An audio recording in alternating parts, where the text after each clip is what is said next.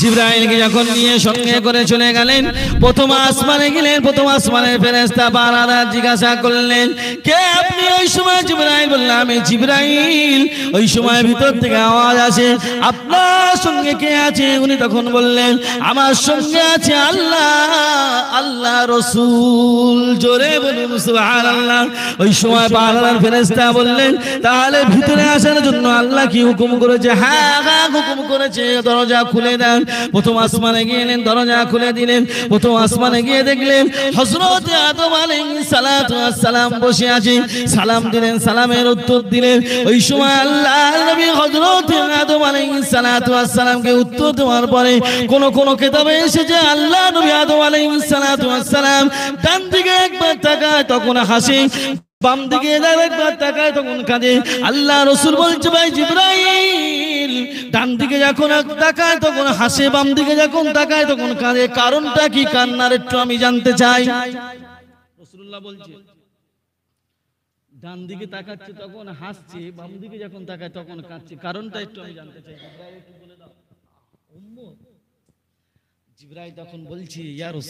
আপনি একটু জিজ্ঞাসা করে নেন জোরে নবী তখন বলছে বলছি। তাকাচ্ছি, হাসছি, এই কারণ আমার আদম, আমি আদম, আমার সন্তানরা বেশিরভাগ জোরে বেশিরভাগ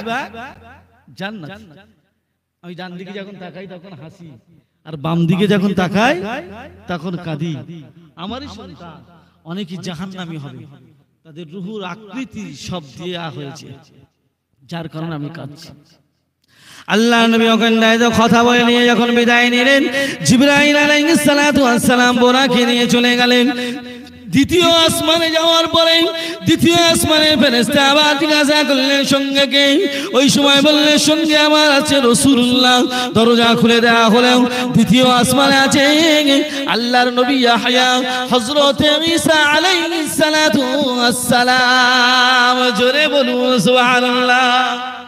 দ্বিতীয় আসমান বোঝেন আচ্ছা এখানটা দুটো দুটো নবী থাকার কারণটা কি একটা কারণ তো আছে, নিশ্চয়ই। চলুন, তৃতীয় নম্বর আকাশে চলা যা যান হযরত জিবরাইল আলাইহিস সালাতু ওয়াস সালাম আবার বড়কে চাপিয়ে নিয়ে তৃতীয় নম্বর আসমানে চলে গেলেন। ওই জায়গায় আল্লাহর নবী আছে হযরত ইউসুফ আলাইহিস সালাতু ওয়াস সালাম জোরে বলুন। তাহলে নবী মারা গেছে, ওখানটায় কি করে আসলো? প্রশ্ন থাকতে পারে তো নাকি বাপ? বোঝেন? আল্লাহ নবী আমার ওই জায়গাতে চতুর্থ আসমানে চলে গেলেন। চতুর্থ আসমানে কোন নবী আছে একবার জিজ্ঞাসা করা যাক। ওই সময় জিব্রাইল বোরাক নিয়ে আবার রসুলকে নিয়ে সঙ্গে করে বেরিয়ে চলে গেলেন। ও আমার ভাই মালিকেরা, দুঃখ নেবে না, রাগ নেবে না।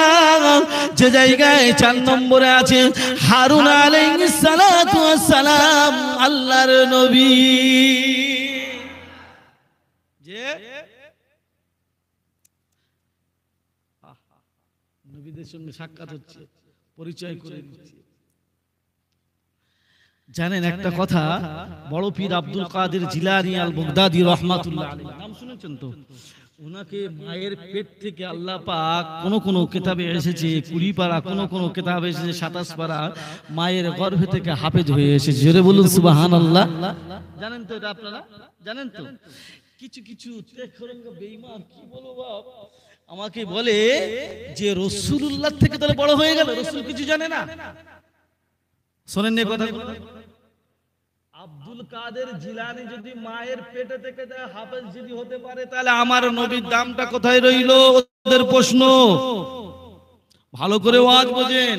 আমার আল্লাহ বলছে, আলাম তানা কাইফা ফাআলা রাব্বুকা বিআসহাবিল ফিল। ভুলে যেও না হাবিব, ভুলে যেও না। যেদিন আমি হাতির দলগুলো ধ্বংস করে দিয়েছিলাম, তখন তো আমার নবী ছিল মা গর্ভে জানবে কি করে? কথা বুঝতে পারছেন না আমার ওয়াজ সাবজেক্ট কি পাল্টাবো নাকি বাপ? আমি শুধু টাচ দিতে চাই। আমার নবীকেরা কিছু ছোট করতে চায়। হ্যাঁ আর Abdul Qadir Jilani al Baghdadi রহমাতুল্লাহ আলাইহি। আল্লাহ বলছে, হাবিব, সেদিনের কথা চিন্তা করো। যেদিন হাতির পালগুলোকে আমি ধ্বংস করে দিয়েছিলাম, তুমি তো ছিলে তখন।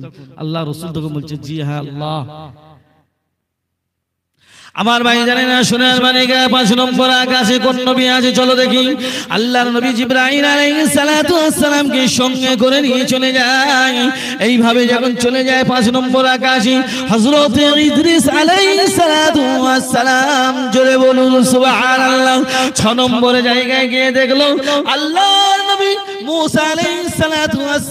ছ নম্বরে আকাশে জোরে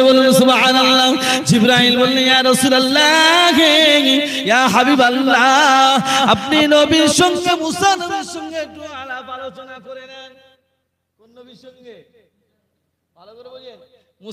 নম্বর আকাশে আছে সঙ্গে সালাম কালাম হলো সালাম কালাম হয়ে যাওয়ার পরে কাঁদছে। কি কাঁদছে? মুসা নবী তখন বলছে আল্লাহ রসুল বলছে মুসা নবীকে ভাই মুসা তুমি কাঁদছো কেন? পৃথিবীর জমিনে মুসা আলাইহিস সালাতু সালাম এসেছিল। ও শত্রু ছিল ফেরাউন। ভুল বলছি নাকি বাপ? ও শত্রু ছিল ফেরাউন। কিন্তু ফেরাউনের দলবল যারা ছিল মুসা নবীর পোশাকটা দেখে এদের পছন্দ হলো। জোরে বলুন। আমাদের আখলাক চরিত্রটা দেখে ওরা আজকের শত্রুগিরি করছে। ঠিক বলছি না ভুল বলছি আরে কথা বলে না কেন রে বাপ? তাহলে মুসা নবীর ফেরাউন শত্রু ছিল। এই ফেরাউন কিন্তু বারবার চিন্তা করেছিল যে মুসা যে কথাগুলো বলে সত্য কথা বলে জোরে বলুন। কিন্তু ও মানছে না। ও কিন্তু মুসলমান হওয়ার জন্য চেষ্টা করেছিল। এর পিছনে আর একটা শয়তান আছে, ও ফেরাউনের থেকে ডবল ফেরাউন। নাম কি? নমরুদ। নমরুদ ছিল। কি বলতো? ওর সঙ্গে যুক্তি করতো। মুসা নবী বলতো যে, দেখো, তুমি যদি মুসলমান হয়ে যাও, আমার আল্লাহ পাক তোমাকে চারটে অফার দেবে। কটা অফার? ভালো করে বোঝেন, কটা অফার? চারটে অফার। ফেরাউন তখন বলছে, আরে, তোমার আল্লাহ চারটে অফার দেবে? বলে হ্যাঁ। তুমি নিতে চাও? বলে হ্যাঁ। কি বলল? বলে হ্যাঁ নিতে চাই। বলার পরে মুসা সালাম বলে দিচ্ছে যে তোমার তুমি যদি কলমা পড়ে মুসলমান হয়ে যাও আমাকে নবী বলে নবী মেনে নাও। আমার আল্লাহ তোমাকে চারটি অফার দেবে। মুসা সালাম ফেরাউনকে বলছে শোনো ফেরাউন তুমি যদি একবার কলমা বলে মুসলমান হয়ে যাও, তাহলে আমার আল্লাহ প্রথম নম্বর তোমাকে এক নম্বর দেবে কি? তুমি যে বাদশাহী করছ আমার আল্লাহ, কিয়ামত পর্যন্ত বাদশাহী দেবে, জোরে বলুন। দ্বিতীয় নম্বর মুসা নবী বলল, ও মিস্টার ফেরাউন, তুমি যদি মুসলমান হয়ে যাও, এক আল্লাহকে আল্লাহ বলে মেনে নাও, তাহলে আমার আল্লাহ তোমার হায়াত কিয়ামত পর্যন্ত দেবে। জোরে বললেন না। ফেরাউন শুনছে। তৃতীয় নম্বর হলো মুসা নবী বলছে, শোনো, তুমি যদি এক আল্লাহকে আল্লাহ বলে মেনে নাও, তুমি যখন বলবে মৃত্যুর কথা, তখনই তোমার আল্লাহ তখনই মৃত্যু করবে। তাছাড়া তোমার মৃত্যু হবে না। চতুর্থ নম্বর তুমি যদি মুসলমান হয়ে যাও আমার আল্লাহ পাক তোমার যা ধন দৌলত আছে তার থেকে বেশি করে দেবে। কিন্তু ফেরাউন চিন্তা করল এই সুযোগটা কাজে লাগাতে হবে। মুসানবী তখন বলছে শোনো সবাই সঙ্গে আলোচনা করবে কেউ দুঃখ নাই এই শয়তানটার সঙ্গে যেন আলোচনা করো না। উনি চলে গেল। ওনার বিবির নাম কি? হজরত আসিয়া। আসিয়ার কাছে গিয়ে বলছে শোনো আল্লাহর হুকুম যদি মেনে নি না, তাহলে আমার আল্লাহ, এই যে চারটে বললাম। আল্লাহ সমস্ত সবকিছু ফেরাউন গিয়ে বলছে, আসিয়াকে। আসিয়া বলছে, এর থেকে বড় আবার কি হতে পারে? তাড়াতাড়ি মুসলমান হয়ে যাও। এই খবরটা শুনলো নমরুদ। তরোয়াল নিয়ে ছুটে এলো। এসে বলছে, শোনো, আমি তো শুনেছি নাকি তুমি নাকি মুসলমান হচ্ছ? বলে হ্যাঁ।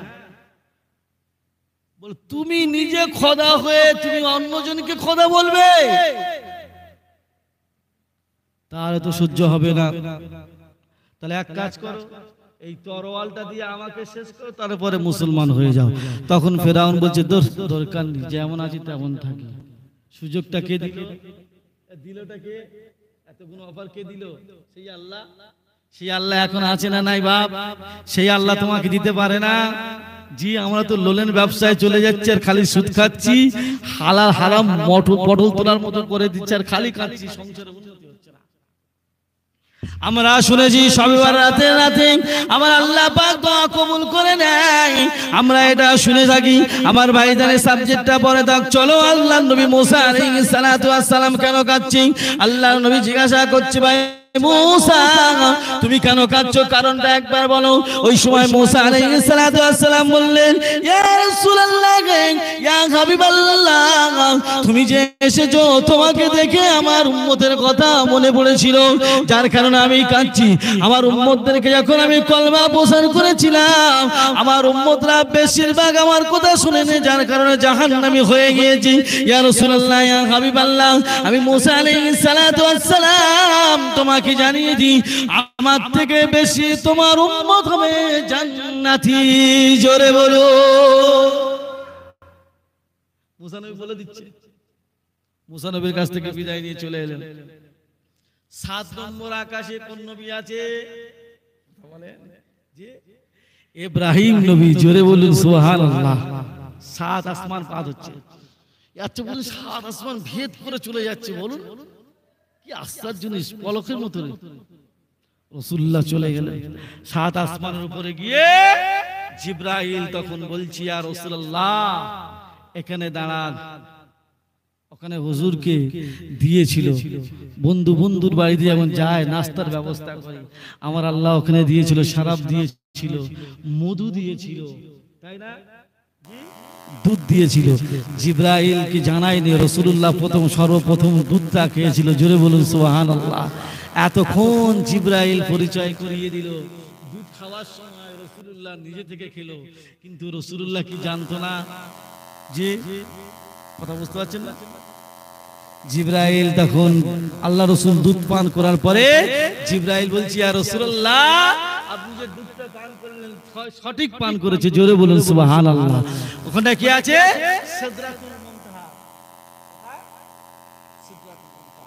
ওই মন্তাহাটা সিদরাতুল মুনতাহা, আল্লাহর জমিন যে কাবা ঘর, ওই কাবা ঘরের সোজাসুজি ঘর।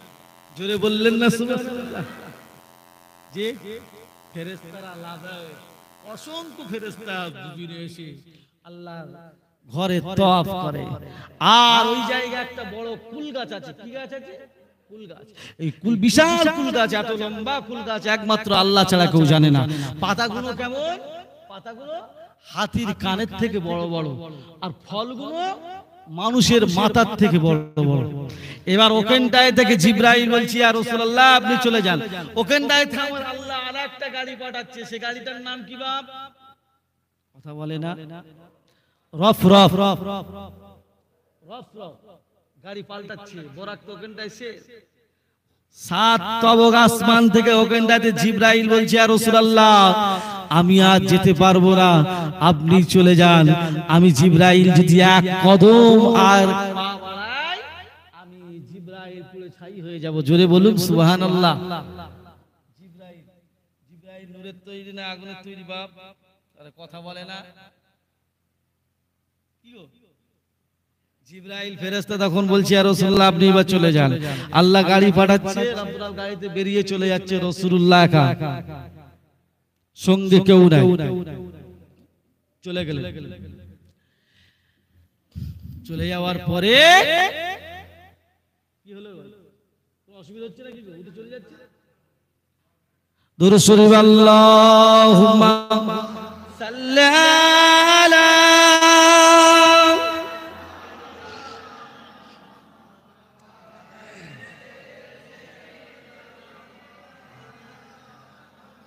اللہم صلی علی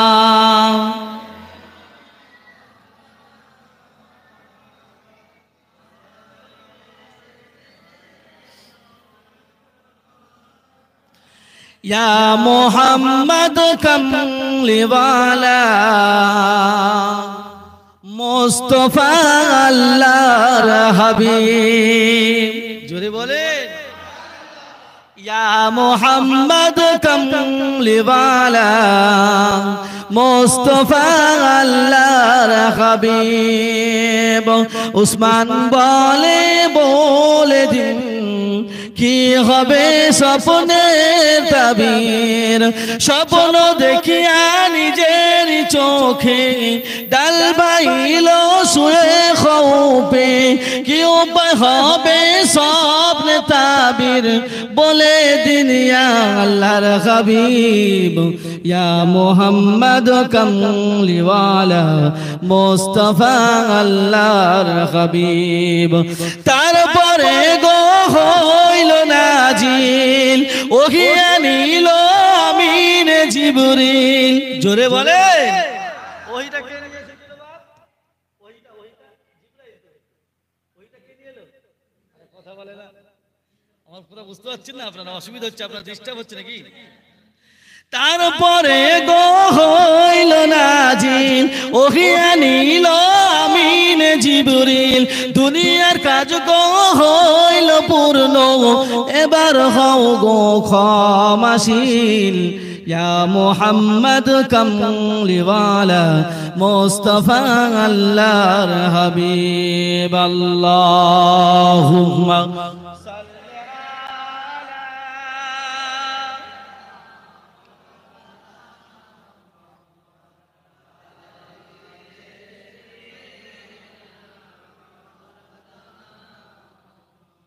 আল্লাহর নবীকে যখন বিদায় দিলেন ওই জায়গা থেকে রব রব বলে একটা জন্তু এলো। ওনাকে নিয়ে যাচ্ছে রসুল্লাহকে যখন নিয়ে চলে গেলে যাওয়ার পরে যখন রসুল্লাহ জুতো মোবারক যখন খুলছে তখন আমার আল্লাহ বলছে হাবিব জুতো খুলুনি জুতো পরে চলে এসো জোরে বলুন সুহান আল্লাহ তোমার জুতোর ধুলুতে আমার আরশ মহল্লাটা ধন্য হবে জোরে বলে।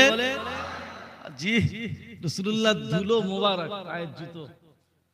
রসুলকে নিয়ে যাওয়া যাওয়ার পরে আমার আল্লাহ বলছে, হাবিব, তুমি আমার কাছে যখন এসেছ, কি নিয়ে এসেছ? আল্লাহ রসুল তখন কি বলেছিল?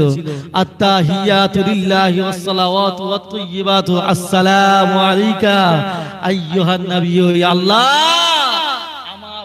যত এসেছে, যত আসবে, তাদের থেকে তরফ থেকে আমি রাসূলুল্লাহ সালামটা দিলাম। জোরে বলে শুনেছেন না এই কথাটা? শুনেন না নাকি বাপ? আমার আল্লাহ তখন কি বললেন? ওয়ালাইকুম আসসালাম ওয়া বারাকাতু আসসালামু আলাইকা আইয়ুহান নবী ওয়া বারাকাতু। জি আল্লাহ বলছে, হাবিব, তোমার প্রতি রহমত বর্ষিত হোক, তোমার উম্মতদের প্রতি রহমত বর্ষিত হোক। জোরে বলেন। যখন নিয়ে চলে গেলেন, জান্নাত দেখাল, জাহান্নাম দেখাল। জান্নাত যখন দেখাল, আমার গেল শুধু রসুল্লাহ কি খুশি? হজরতে আবু বাক্কা যে জান্নাতে থাকবে, সেই জান্নাতরা রসুল্লাহ চোখ মোবারকে দেখে এসেছে। জোরে বলু তখন আবু বাক্কার কোথায় পৃথিবীর জমিনে উমর ফারুক কোন জান্নাতে থাকবে, সেই জান্নাত্রা রসুল্লাহ দেখে এসেছে। জোরে বলুন, সুবহানাল্লাহ। হজরতে বেলাল বেলাল যে জায়গায় জান্নাতে থাকবে সেই জান্নাতে যাবার পথে হজরতে বেলালের পায়ের খড়মটা রসুল্লাহ শুনতে পাচ্ছে জোরে বলুন সুবহানাল্লাহ। যে সাহাবা এরাই তো রসুলের দিবানা ছিল। জি এরাই তো মহব্বত করতো পিয়ার করতো ভালোবাসতো। আমার ভাই জানেন সোনার মানে কেন রাগ করবেন না? আল্লাহ রসুল দিন দুনিয়ার বাদশাহ সাইয়্যিদুল মুরসালিন শাফিউল মুজলামিন রাহমাতাল লিল আলামিন। হুজুর পাককে যখন জান্নাতি ঘুরে ঘুরে দেখানো হলো, জান্নাতি দেখা পরে আল্লাহ রসুল বড় খুশি হয়ে গিয়েছে। যখন জাহান্নামে দেখানো হলো, আল্লাহ রসুল দেখতে পাচ্ছে জাহান্নামের অবস্থাটা কেমন। দেখতে পায় জাহান্নামে নদী একটা আছে, কিছু মানুষ আল্লাহর ফেরেশতা তারা ইট পাটকেল ছুটতে ছুটতে তাদেরকে দাঁড়িয়ে দাঁড়িয়ে সমুদ্রের মাঝখানে পাঠিয়ে দিচ্ছে। আল্লাহ রসুল ওই সময় বলেছিল, জিব্রাইল, এরা কারা? এদের এখানে এরকম অবস্থাটা হচ্ছে, কারণটা একটু জানতে চাই। বলছে, রসুল, বলে, পৃথিবীর জমিনে গরিব মানুষরা কাজ করবে।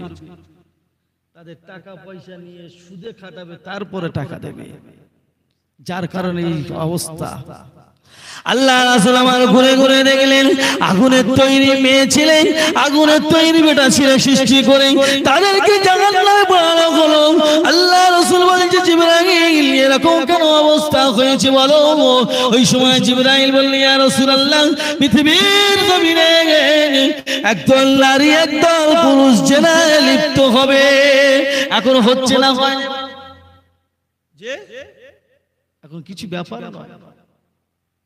রাস্তায় ঘুরলে নিজেদের চোখের দোষ এসে যাবে। তাড়াতাড়ি চশমা ব্যবহার করতে হবে। বেরোনো যাওয়া যাচ্ছে না ঝামেলা খাতুনের এদের জ্বালায় বের হওয়া যাচ্ছে না। আর এমন এমন বরকা পরে যাচ্ছে রে বাপ। বাপের বাড়ি যাচ্ছে আলাদা মায়ের বাড়ি যাচ্ছে আলাদা খালার বাড়ি যাচ্ছে আলাদা বোনাই বাড়ি যাচ্ছে আলাদা বন্ধুদের বাড়ি যাচ্ছে আলাদা আত্মীয় স্বজনদের বাড়ি যাবে আলাদা, মেলায় যাবে আলাদা। আপনাদের এদিকে নাই না? আছে পার্কে যাচ্ছে আলাদা, বুঝতে পারবে না। এমন ভাবে বরকা পরে যাচ্ছে। মনে করবে আল্লাহর ফেরেস্তা পাঁচ নামাজ পড়ে, এক নামাজ পড়ে না। বরকা ঠিক পড়েছে বরকাটা যেমন পড়লে বা নামাজটাও পড়ো। বোরকাটা তুমি আবরু ঢাক দিলে, আর জাহান নামের আগান থেকে বাঁচতে গেলে নামাজ তোমার পড়তে হবে। যতই বোরকা পরে ঘোরো, ভুল বলছি না, ঠিক বলছি বাপ। রাগ হচ্ছে? মনে মনে করছে কাকে ডেকে নিয়েছে লাভা যে? একে সরা। বড় বড় কথা না। কিয়ামতের দিন হাসরের ময়দানে তোমাকে, আমাকে যখন আল্লাহ জিজ্ঞাসা করবে, তখন কি বলবে? আল্লাহ সুমুখে কি বলবে? নিজের স্ত্রী যেভাবে চলছে নিজের মেয়ে ছেলে পুলে যেভাবে চলছে। এই বরখা যেমন পড়ছে যেমন দেখে অন্যায় করছে একজন। আর একজন দাঁড়িয়ে দাঁড়িয়ে দেখছে। কিন্তু দুজনেই সমান। কথা কি বললাম? দুজনেই সমান। এই যেমন অন্যায় করছে তুমি চুপ করে দাঁড়িয়ে আছো তোমার ক্ষমতা নাই যে তাকে বলার। আসছে ছেড়ে দেবো? এসেছে? এসেছে?